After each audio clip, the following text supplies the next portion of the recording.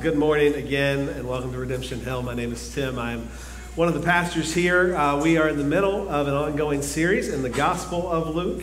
We are currently in Luke chapter 8, and uh, Jesus has been teaching to a large crowd and then teaching his disciples. And, and last week, we looked at the parable of the sower and the seeds, and uh, in that uh, parable, um, right after that, Jesus explains the purpose of the parables to his disciples. Pastor Raven uh, helped us see that, that there are different responses to hearing God's word, and we need to be aware of those, and we need to uh, realize that God is in control, that God is, is sovereign over what happens when his word is, is preached. And the parable of the sower. Um, uh, leads directly into this passage today, uh, which begins with another parable, the parable of the lamb. And, and, and it especially leads to this very important statement. Um, the first statement that Jesus kind of makes as a clear, here's what you need to do. Um, uh, verse 18 of chapter 8, he just says these, these simple words Be careful how you hear. This seems to be the main point of, of what Jesus is trying to show us, trying to tell us with these parables. Uh, it is the point that, that Jesus will kind of hammer home in the verses that we will look at uh, next week. Be careful how you hear, take care how you listen. The kind of listener you are, the kind of hearer that you are when it comes to, to, to God and His Word, um, it helps us see where we are, where we are at in relation to God. It helps us see clearly where we are in relation to Him. These verses help us see clearly that while it is absolutely true that God is in control of our hearts, God is in control of salvation, we also see that it is absolutely true that we have been given a responsibility. We will see that we have a very specific work, a very specific response to the work that God is doing. We are active in this. We have a part to play in hearing the Word of God and then sharing that Word with others. So let's read this together. This is Luke chapter 8, verses 16 through 18. Luke 8, 16 through 18. Jesus says this No one, after lighting a lamp, covers it with a jar or puts it under a bed, but puts it on a stand so that those who enter may see the light. For nothing is hidden that will not be made manifest, nor is anything secret that will not be known and come to light. Take care then how you hear. For to the one who has, more will be given. And from the one who has not, even what he thinks that he has will be taken away. Let's pray. Father, we thank you for your word. We thank you uh, for how it uh, shapes informs, transforms our lives. Father, we, we want to hear from you today. And so we, we ask you to speak. Speak to our hearts, even as we listen to these words. Uh, take them and apply them to our lives. Um, help us to remember these things. Um, let these things take root inside of us and, and change our lives to, to make us the light that you have made us so that we can shine your light uh, to a lost and dying world. Father, we need you for all of this, and we ask these things in Jesus' name. Amen. Uh, look again at verse uh, 16, just the very first statement he says No one after lighting a lamp. So, so we're going to just stop right there because uh, the, these, are, these are parables and it's important to understand them. Um, and so we need to know what does Jesus mean by lighting a lamp? We can just take those things for granted sometimes.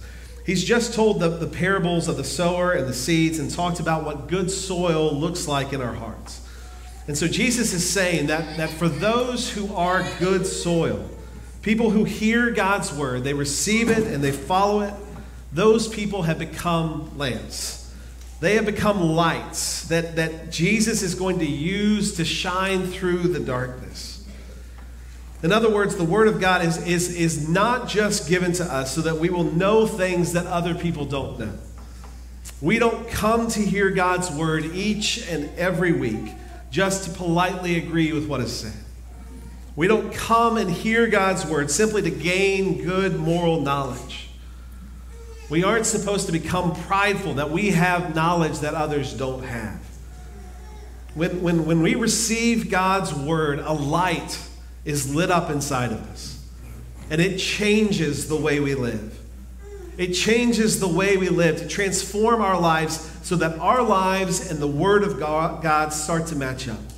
We start to look more like Jesus. And our lives begin to shine as lights to a dark world. Matthew 5, Jesus gives this same parable, but, but at the end of that, that parable, he says this Let your light shine before men in such a way that they may see your good works and glorify your Father who is in heaven. The things that we do and say change. The way that we talk, the way that we act changes. Our desires change. Our innermost being changes. We begin to want to glorify God in all that we do. We want others to join in with that. We want others to glorify God as well. Our lives are supposed to change when we hear the Word of God. We mature, we grow, we become more like Jesus. We need to let God's Word take hold of our lives in such a way that people see the difference. We, they, they see that it changes who we are. It changes the way we talk. It changes the things that we talk about. It changes the way that we care about others. It all changes. And so God puts his light in us. And then the rest of verse 16, Jesus says, No one after lighting a lamp covers it with a jar or puts it under a bed, but he puts it on a stand so that those who enter may see the light. Another version says, So that anyone that enters may see the light. This lighting of a lamp, it is, it is God's word taking root and transforming the way that you think, the way that you speak, the way that you live. And you are meant to let God's work in you be seen by everyone that comes into your life. Not to draw attention to yourself, but to point to the true light of Jesus. No one covers that lamp or puts it in a place where it can't be seen. Jesus has just told his, his, his followers that he speaks in parables and that some people don't understand it. And immediately he follows it up with another parable. A parable that is so simple that seemingly every child and every adult should be able to understand. If you have a lamp, don't cover it up, don't hide it. It's pretty, it's pretty simple. You use items for their intended purpose. I had a roommate in, in college. We rented a house together, and, and one day I walked into his room, and he had several sets of skis in, in, in his room. And so I just naturally said, I didn't, I didn't know that you skied. Uh, to which he replied, I don't. Uh, and so naturally, I looked at him and said, Joe, then why do you have so many skis in here? And he looked at me and said, I saw them, and I just thought, just in case. I, I still don't know just in case of what. Um, he had never gone skiing before then, and, and it's been 30 years, and I don't think he's gone skiing since. You don't buy skis just in case, you buy them to go ski. You don't invite people to your house, make appetizers, make a meal, make a dessert, and then just throw it in the trash right before they come over. You make a meal to, to enjoy it, to, for those that are coming into your house, for them to enjoy it. You use items for their intended purpose. When we lose power in a storm, we, we, we find a lamp or a flashlight and we set it in the middle of the room so that everyone in our home can benefit from that light. At this time, when it, when it became dark, they found a lamp, they put it in the middle of the room so that everyone who came into that, at that house could benefit from the light. When the light of God's word takes hold of you, then you let that light shine so that everyone who comes into your life can benefit from it. Lamps are meant to give light to the space they are in. And if you cover it up, if you hide it, if you turn it off, then you are, you are working against the very purpose of that light. Jesus says, You take that lamp and you put it on a stand so that those who enter may see the light. The light is meant to benefit anyone that would enter the room. We don't pick and choose who gets to experience the light. If, if, if we have experienced the grace of God, it is because of Jesus. It is because He did not hide the light from us. He has not hidden His life, light, even facing the pain of death and a grave. He let his light shine, and we get to live because of that.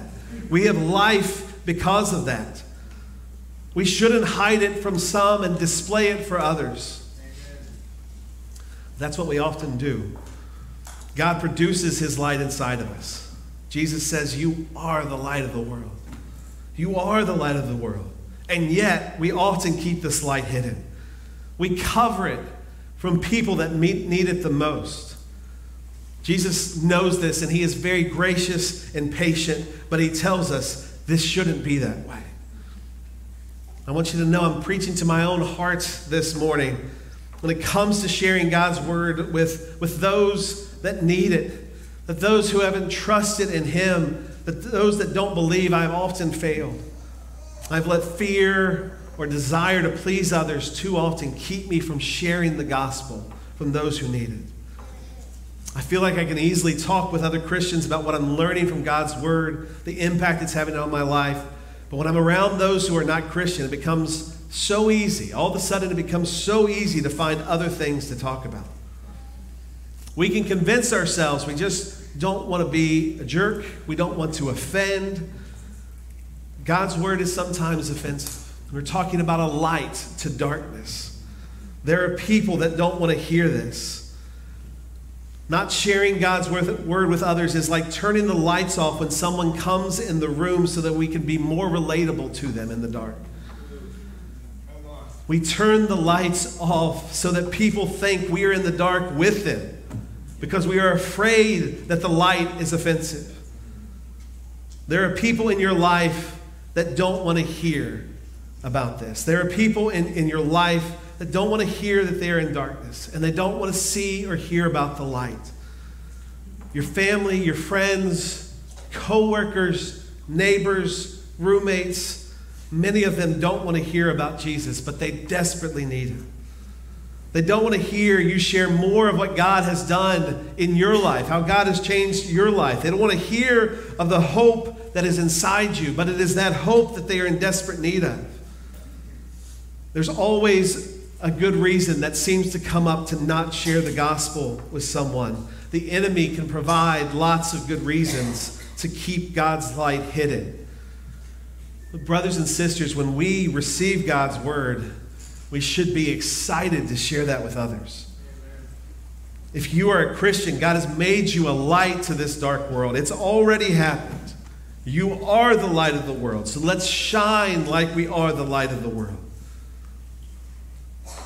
I know things can get away from us easily, and, and, and, I'm not at the end of the sermon. Um, I've been preaching for 10 minutes, so don't think I am. But I don't want this to get away from us today. So, so we're going to take 20 seconds right now. And I, just where you're at right now, if you are a Christian, I want you to think of someone, someone that needs Jesus, and I, and, and I want you to pray for them.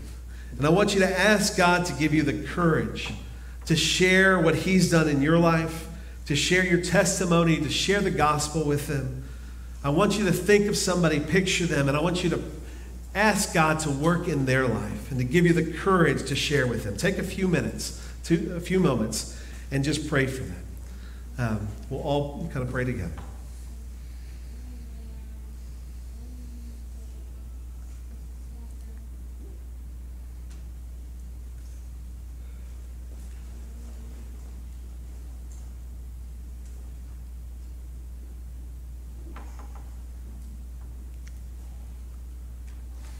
Father, you know every life, every face that we have in mind right now. Father, we need, we need courage and boldness from you to be able to share these things with those that have not trusted in you. I pray that you would do a mighty work in their life, that you would prepare their hearts to hear, and that as we share with them, that, um, that you would be at work in saving them, Father that we can just rejoice in the work that you are doing. Um, thank you, and we trust you with it all. In Jesus' name, amen. Nobody in whom God has lit the light is going to want to conceal that and cover it up. Jesus has changed your life and he's making you more like him. We do not keep that hidden. We will need to be open and honest about the work of Jesus, about the truth of God's word. Jesus is going to use his word and his light to encourage Christians and to save sinners. That is an amazing gift. With, with our fellow Christians, when we share God's word and God's work with them, we get to encourage them. We get to help them grow and mature. We get to strengthen our brothers and sisters every time we share God's word with them. And with non Christians, when you share the light with them, you play a part in proclaiming the hope that we have in Jesus. You play a part in God saving people from their sins. What a privilege.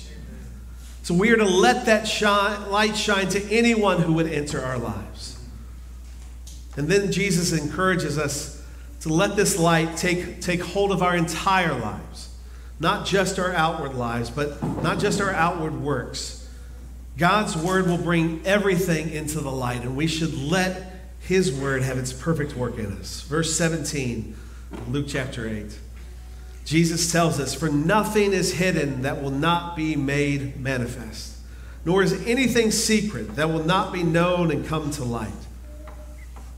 I want you to know there's, there's some options here on what exactly Jesus intended to say in this. What does this verse actually mean. And, and commentators and pastors come up with basically two things, and, and, and both of them are really good. And, and, and so I want you to know that they're both good and helpful. Some commentators believe that this is a reference specifically to the gospel and God's truth, and that everything will come to light, and that everyone will know that God's truth is truth. And that is absolutely true. The other option is that Jesus is, is talking to his disciples, he's talking to Christians, and he's telling them to let the light do its work in them completely. That every part of their life should be brought into the light. I think this is what Jesus is getting at here. Jesus is saying, whatever, whatever remnants of darkness remains in your life, whatever sin, secrecy, shame, whatever you think is hidden, let the light transform it. If you're trying hard to, to keep it hidden so that no one will, will see how sinful you, you truly are, then you can stop. Jesus already knows all of it. Jesus knew what he was going to the cross for. He isn't surprised by your sin. He was going to save you from your sins. He knows how sinful you truly are. You're not going to be able to keep it hidden. It is already known. So now, today, bring it to the light.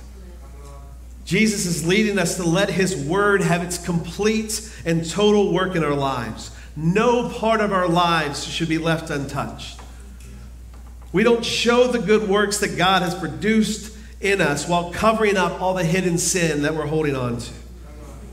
We don't, we don't proclaim his good news and his gospel while hiding all the deep, dark things that we don't want to let go of. That is not living in the light.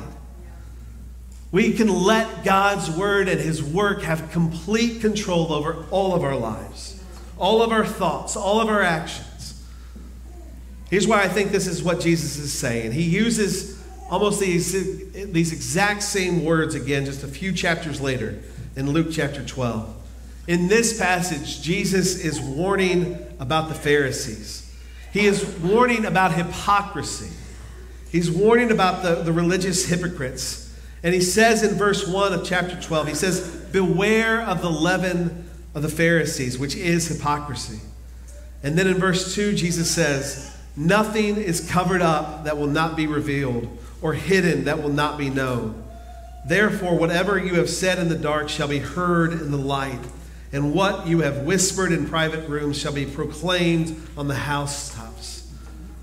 Those are the same words. It's almost the exact same words in Luke 12, but here he is being more explicit. I am not raising up an army of hypocrites. Don't be hypocritical. Beware of being hypocritical. All the stuff you want to keep hidden and private, I, I died for that too. It will be brought into the light, so go ahead and bring it into the light now. The truth is, for those who have, who have experienced the mercy and forgiveness of Jesus, we should welcome this. We should ultimately love that all of our sin, all of our weaknesses, all of our failures can safely be brought into the light. Our worst thoughts, the worst things that we've done can all be known. And yet, because of Jesus, you are still loved. You are still treasured. You are forgiven. That is the gift of God. The Bible is, is such a testimony to this. I've, I've often said if they were going to be going to have a museum of sin, uh, which my wife always reminds me is a horrible idea for a museum. Um, but if there was a museum of sin, David from the Bible would have his own wing of the museum. He is, he is beloved for his psalms, but he is just as well known for the many sins he committed, for how bad those sins were. Peter, who is the most famous probably of Jesus' apostles, was consistently saying and doing the wrong things. He failed Jesus at the most important times of his ministry. Another of Jesus' apostles, Thomas, would become historically known as Doubting Thomas.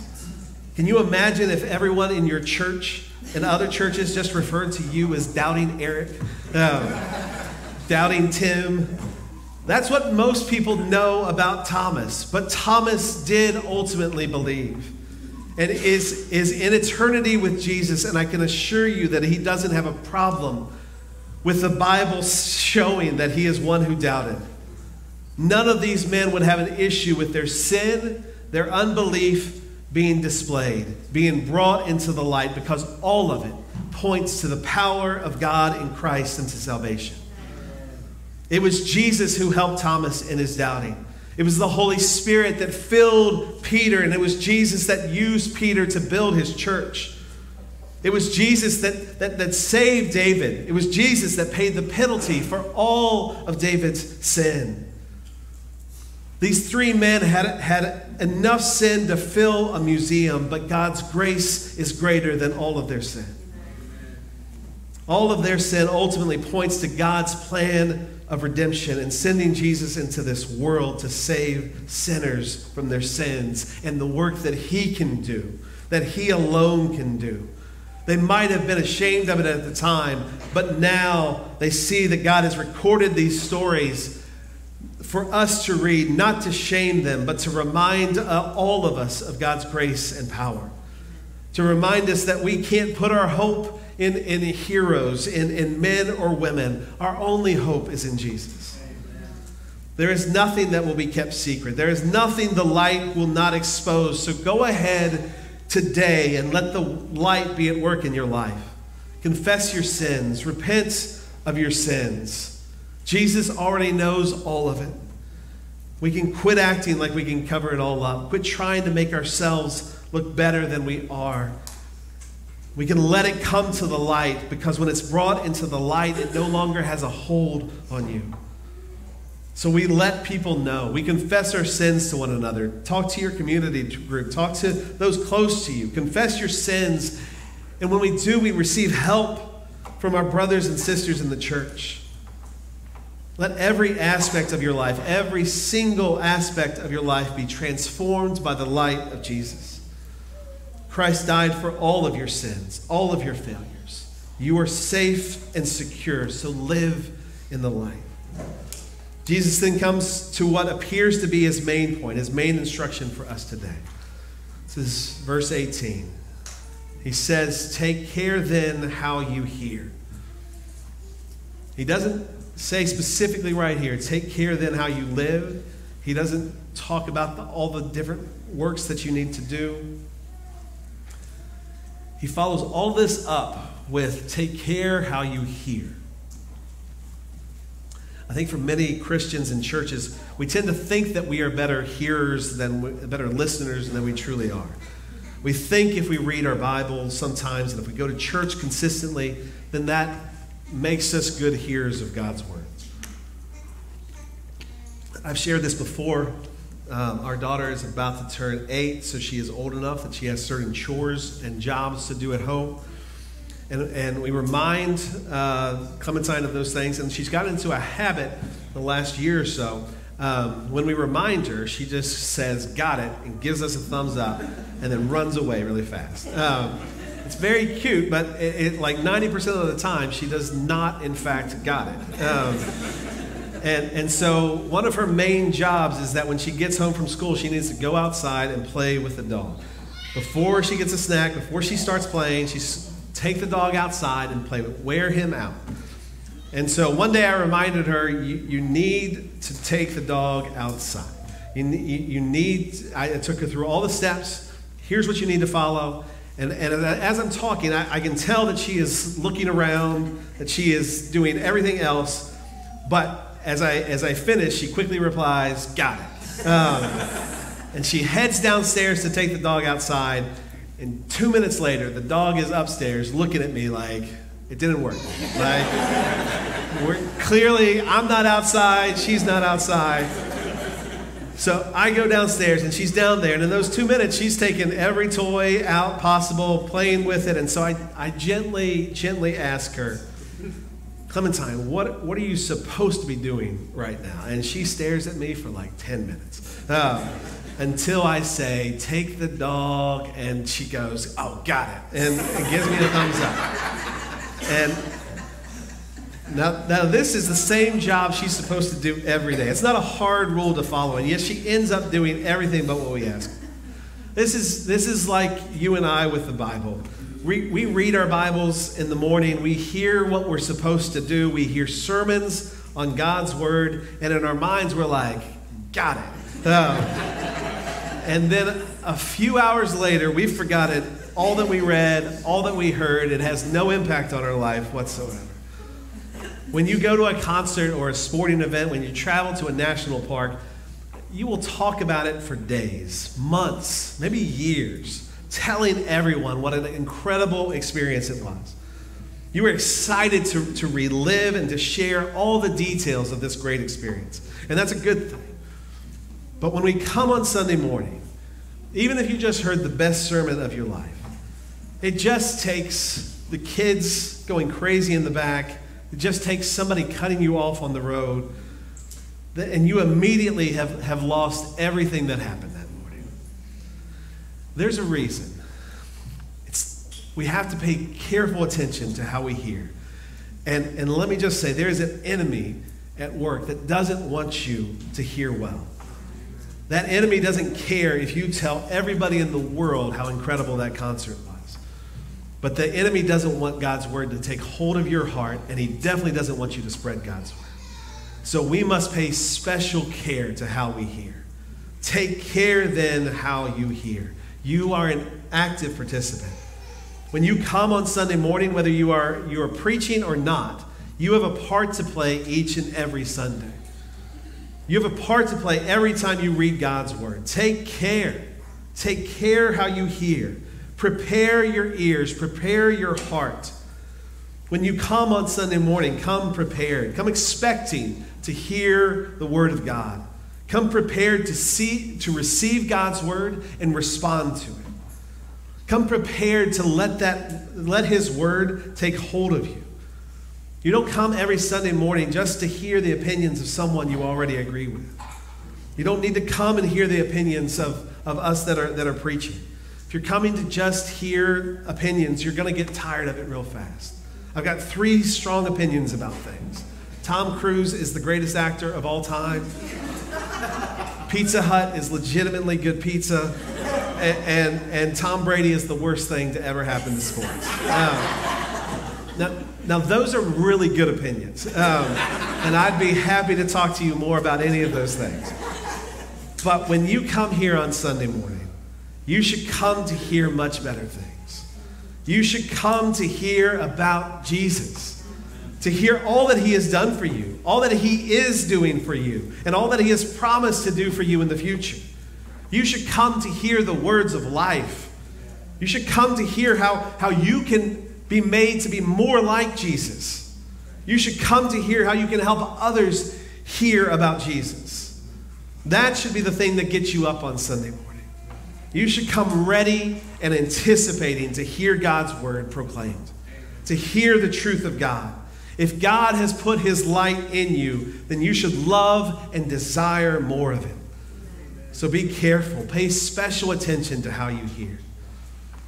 I want to encourage you to, today. I, I believe this to be true. Every Sunday can become a powerful day in your week if you know how to listen well. If you know how to listen to God's word, you can always get something out of a sermon that teaches God's word and points to Jesus. I heard one pastor put it this way a powerful sermon has often rescued a weak listener, and a good listener has often rescued a weak sermon. Now, I, I do not want you to tell me which one you think happened today. Um, but you should be listening for God's word. And, and if that's what you are listening for, then every Sunday can become powerful in your life. We are told in 1 Thessalonians 2.13, this is the Apostle Paul speaking. He says, we thank God continually. We, we can't stop thanking God because when you received the Word of God, which you heard from us, you accepted it. You received it not as the Word of men, but as it actually is the Word of God which is at work in you who believe. The Word of God is at work in those who believe. God's Word is at work in you, so you should be excited to hear it and receive it. It is not our words, it is God's Word that brings, brings life, brings hope. So we pay special attention to how we hear God's Word. Now, how do we, how do, we do this? As we get ready to close, I want you to, to just th- here three quick ways that you can take care how you hear God's word, especially on Sunday mornings. We need this each and every day. But three ways that can help you. When you come on Sunday mornings, I encourage you, don't come expecting to be entertained and don't come only looking for words that make you feel good about yourself. The Bible refers to that as people who like to have their ears tickled. Uh, this is 2 Timothy 4 3 says that they will not endure sound doctrine, but, but wanting to have their ears tickled, they will uh, get for themselves teachers in accordance with their own desires. They will accumulate for themselves teachers in accordance with their own desires, and they will turn their ears away from the truth. We can, we can think if we go to a, a, a church that preaches the Bible, we can think that that's for everyone else. But any of us can easily be guilty of just wanting to hear things that just reaffirm us, that are just things that we want to hear. We often want to hear the good without hearing that apart from Christ, we can do nothing. We, we can easily want to hear and, and be encouraged and refreshed, but not be called out and remember that apart from Christ, we are sinners lost, that we need to change. And, and, and He promises to change us. We can only hear the parts that we want to hear. We had a really bad storm years ago, and, and one of our neighbor's trees fell into the road.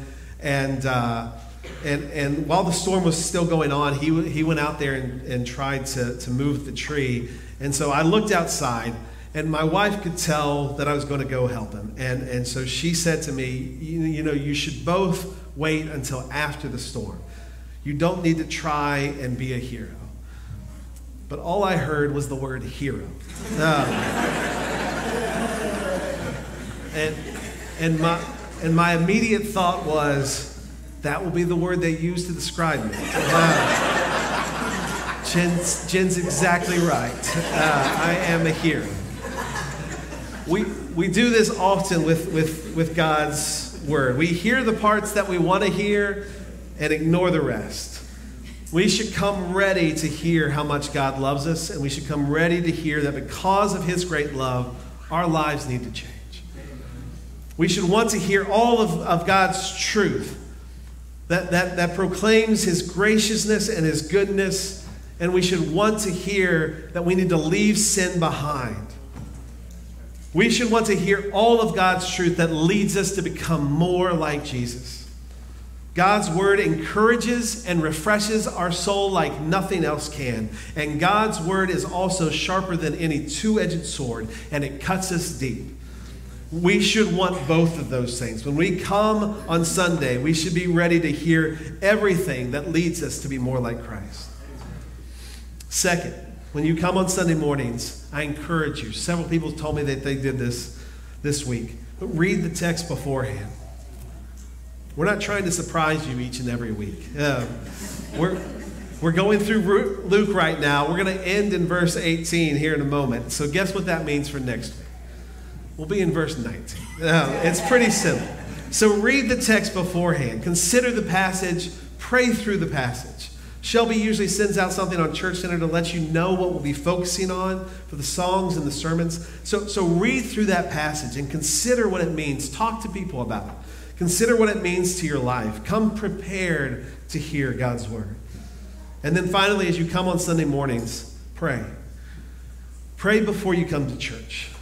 Pray for those who are preaching that they will preach the word of God and that God will give them his words. Pray for the other members of, of the church that they would hear God's word and that would change them.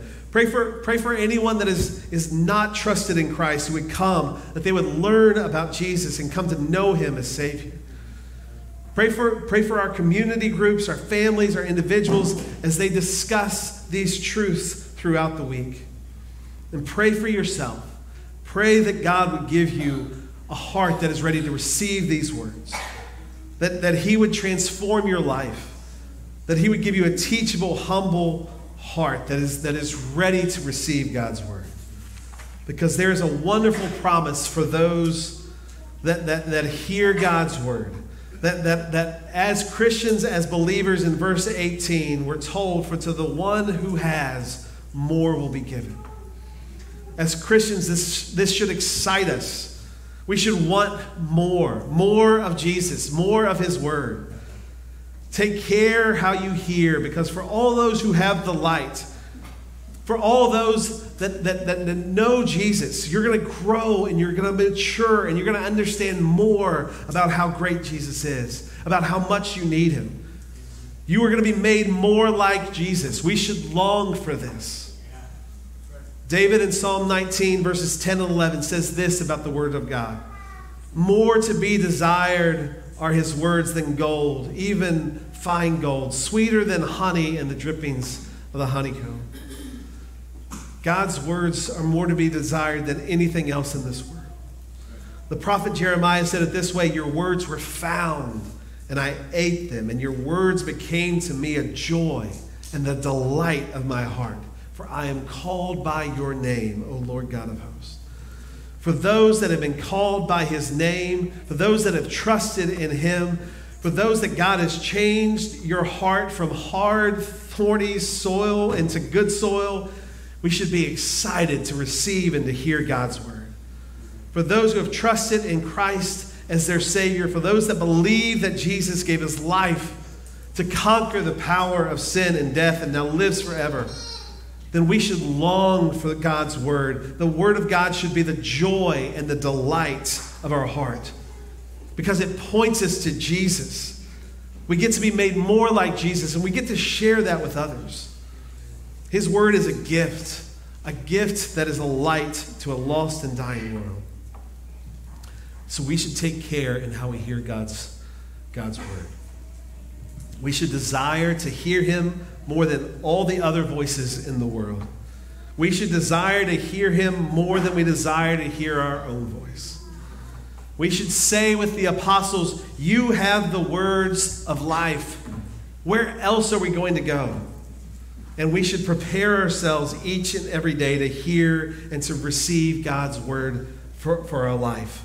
And we can only do this because Jesus did not hide his light from us. He was facing death, he was facing the grave, and he did not hide his light. It is because of his good work on our behalf that we can tr- truly have life, that we can live today. We can live in that light. Apart from him, there is no light. We are lost and hopeless, but in him we have the light. That is such a beautiful and wonderful promise. And it is a warning as well as he closes out verse 18 that for those who, who do not have, even what they think they have will be, be taken away. We, the response to that is to be careful how you hear. Listen well. We want to be those who get more of it, whose lives are changed more from it. And all we have to do is trust in God Believe God and listen. Listen well. Let that, that let God's word take hold of us and transform us. In Jesus, we find an everlasting fountain that will never dry up, and He has promised to give us exceedingly and abundantly above all that we can ask or think. When we go into our days, when we show up on Sunday morning, we aren't always expecting great things, but we have a God who can do exceedingly and abundantly above all that we can ask or think. That is a beautiful thing. More of Jesus, more of His Word. That is what we should desire and long for each and every day. Uh, let's pray together. Father, we, we thank you and praise you for your goodness. Uh, we thank you um, that you sent your Son into this world so that we can know what life is. Um, he came as a light into a dark world, and because of him, we can now have life. Father, remind us of that each and every day. Let that be the thing that drives us to pick up our Bibles and read it. Let that thing be the, the thing that drives us to come on Sunday morning to hear more of God's Word. Let His work in, in, in our life be the thing that motivates us to listen well, to hear well. I pray that you would transform our lives, that you would transform the way we talk, the way we act, that you would transform the way we care about others and the way that we share these things with others. And that through that we trust that you are going to do great and mighty things, Father. Father, we need you for